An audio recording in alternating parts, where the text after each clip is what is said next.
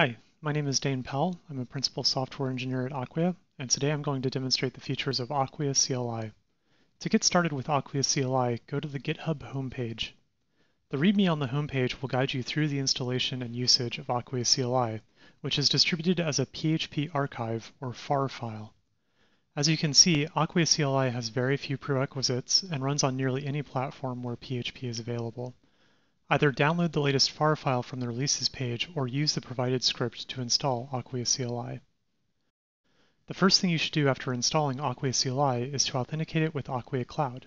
To do so, simply run acli auth login and follow the prompts to create and enter an access token. Note that if you already use Acquia products such as BLT, your computer may already be authenticated. Second, Create and upload an SSH key if you haven't already by running ACLI SSH key create upload. Manually creating and uploading an SSH key normally takes several steps and is easy to get wrong, but Acquia CLI does it all for you with one command. Great, now we are fully authenticated to Acquia Cloud and able to run commands against the Cloud API as well as via SSH. Now run ACLI list or ACLI without any arguments to see everything it can do.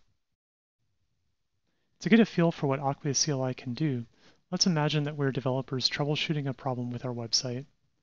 We're smart developers and know that a cache clear can fix almost anything, so we want to start by clearing varnish. Run ACLI API list to get a list of available API commands. There's the one we want. Now let's see how to run it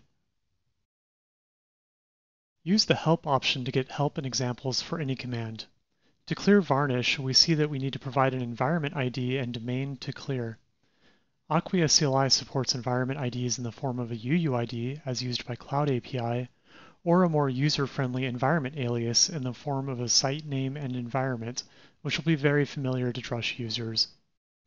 All right, so let's add those parameters and run the command to clear varnish. Hmm, looks like ACLI did its job, but varnish wasn't the problem. Let's take the nuclear approach and clear all the caches using Drush.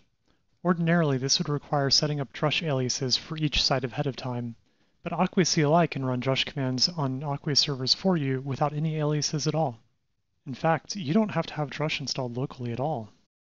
Alright, that didn't work either. Time to get our hands dirty. Let's see what's going on by tailing the logs.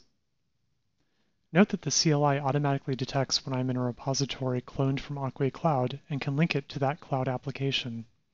Once I've selected the application, environment, and logs detail, Acquia CLI will continuously stream the output of those log files as the servers receive new requests.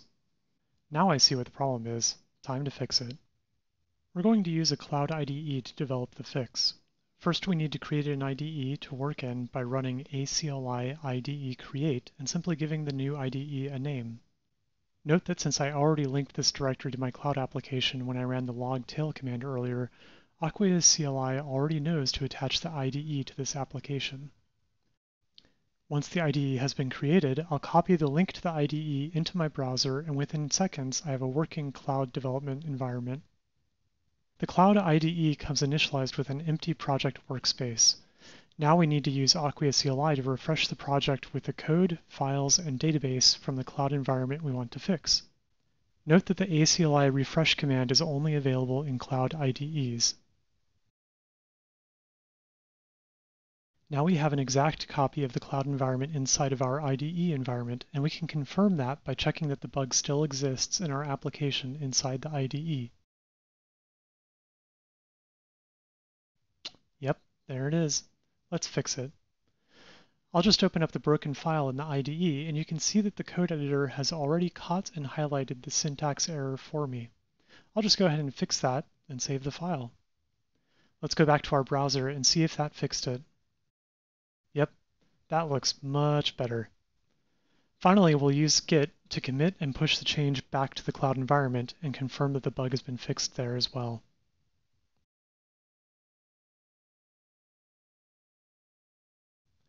So there you have it, getting started with Acquia CLI and using it to maintain your Acquia applications all in under five minutes. Try it out for yourself and let us know what you think over on GitHub.